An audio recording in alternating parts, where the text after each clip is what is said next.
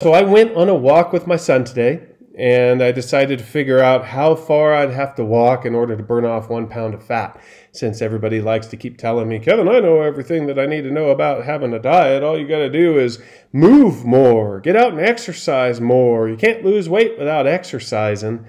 And uh, what I'd like to say is, I really don't think you can lose weight by exercising. Uh, obviously, it helps, uh, it's in addition to your diet but it's not going to be significant weight loss unless you have significant time to devote to it, significant energy to devote to it. Energy and time, most of us that are working full time and have a family just don't have. You work 10 hours a day, commute two hours a day, uh, working six days a week. We have family that we have to cater to. We're tired. We still need some time for ourselves.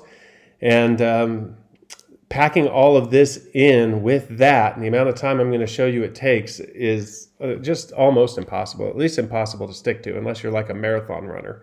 Um, but we uh, this is based on my height and weight, based on the fact that I'm a man.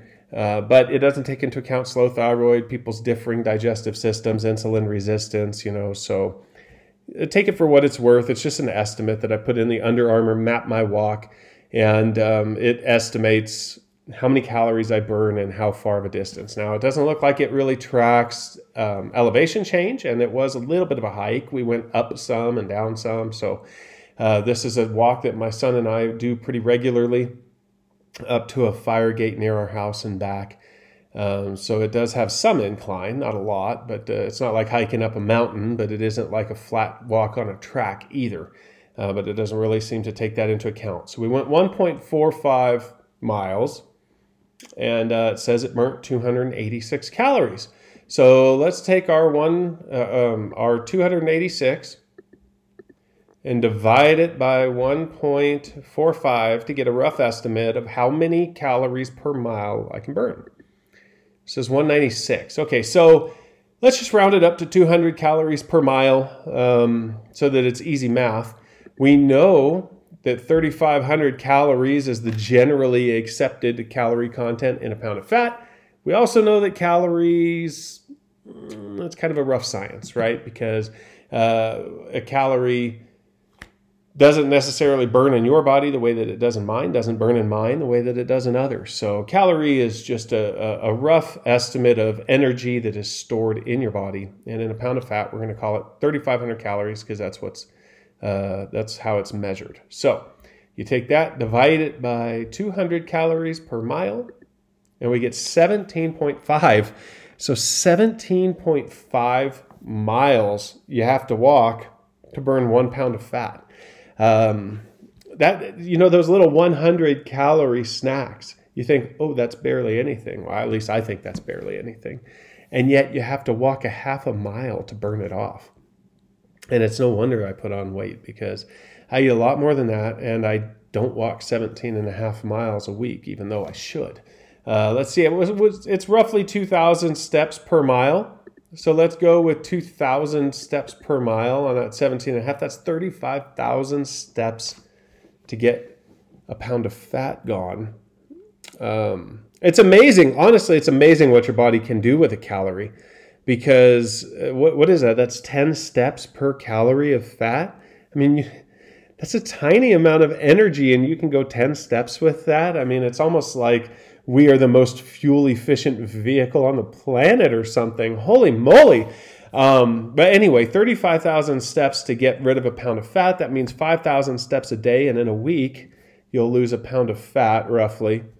Uh, that just doesn't seem efficient to me. It's much more efficient to attack your weight loss with your diet and then get in shape with exercise.